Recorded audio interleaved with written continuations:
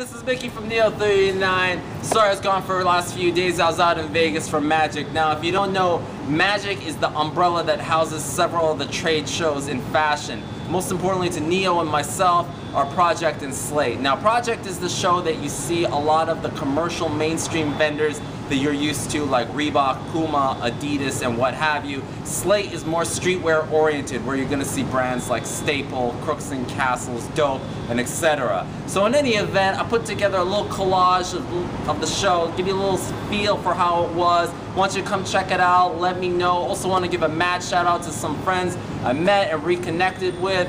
Shout out to Corey from Leaders in Chicago. Definitely if you're not aware of his shop and his brand and how it's popping up in some retail spots, you need to get on that because that brand is fire. If you need anything, check Terrence J on 106 and Park, he's always rocking it. Outside of that, gotta give a shout out to my homies Danny and Carlos from Solefly in Miami.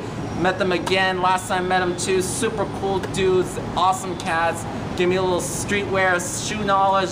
Kicked a little back with them, had some fun. Definitely cool guys. And last but not least, gotta give a shout out to my homies Lowell and Nick at Crossover in Vegas and Santa Barbara. Definitely check out their store. They're blowing up, got their own branded line as well.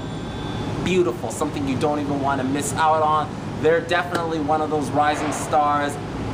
Pleasure hanging out with them, chatted it up. Anyhow, enough of me talking. Check out the footage of this show. This is Mickey. I'll catch you tomorrow.